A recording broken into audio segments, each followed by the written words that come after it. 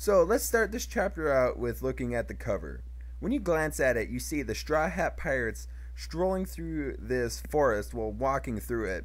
And the thing about that is, Sanji's with them, so could it be before they're on the elephant or after or in between? I, I, I just don't know.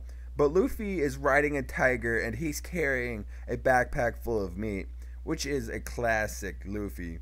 And then we have Robin, who just looks gorgeous as always, and she's seen petting Momo's devil fruit form. So we all know Momosuke is a important figurehead for the Wano Kingdom, and that his father was on Gol D. Rogers' ship. And now, in this chapter, we find out he could have some special hidden power, possibly, which really piques my interest, and I just want to know what it could possibly be. I have to say, One Piece chapter 821 grabs your attention, and it makes you want to read more.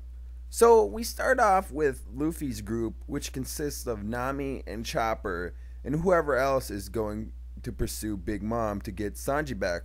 And then we have Group 2, which has Robin and Zoro, I believe, and whoever else is going to be going with them to the Wano Kingdom. Now, they're on Zou the Elephant, and they're like pretty much in the center, and they're about to set off to go their separate ways. Before they are able to do that, out of nowhere, Zou the Elephant starts going crazy, and everything starts collapsing all around them. At the same time this is happening, Luffy and Momosuke are hearing this voice. Now, the thing about that is, they're the only two that can hear the voice why can't like Robin, Zoro, or Nami hear it? Does it have to do something with power? But then why can't Zoro hear them? And does it have to do something with haki? And now that doesn't make sense because Momosuke doesn't have haki, I don't believe. Now, Luffy tries talking to the elephant but doesn't get a single response back. Now, it turns out that Momo is the only one that can actually have a conversation with his elephant. And what we know about Zold is that Apparently, this elephant is cursed and has to walk around pretty much for all of eternity until it drops dead and can't go on. But it turns out in this chapter he can be controlled, and that's why he's asking for someone to give him orders so he can fight back. And why he wants to fight back is because Jack is attacking the elephant. He's trying to kill it by gouging out its eyes, taking out the spots in its legs so it collapses down because they just want to kill it and eat it, I guess, which is just cruel. I mean, it will give you enough meat for a long, long time, but like, why? I mean, that's just mean. So now we have Momosuke here, who we have learned is like an important person now, and that he's going to be having like a big role in the upcoming chapters because we've just learned that his father was on the Jackson and now he might have like some sort of like power or ability we don't know about because he's the only one that can talk to Zold.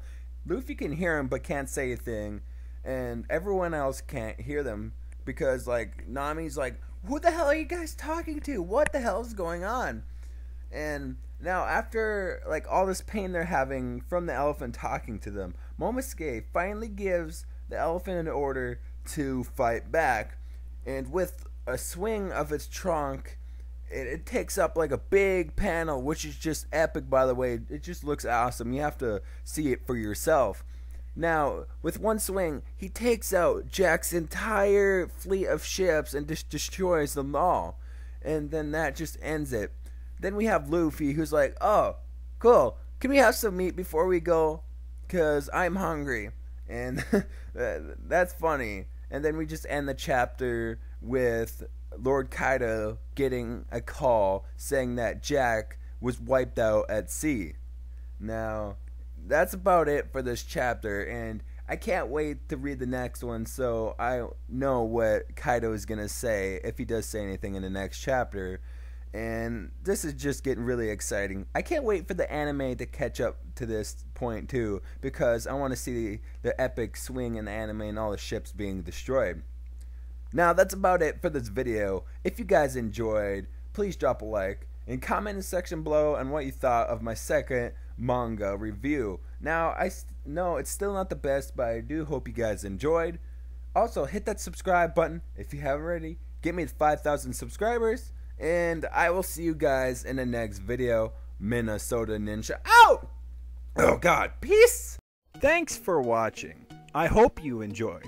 If you did, please drop a like and also subscribe. And if you haven't already, check out my previous video. It's really crazy. Anyways, I'll see you guys in the next video.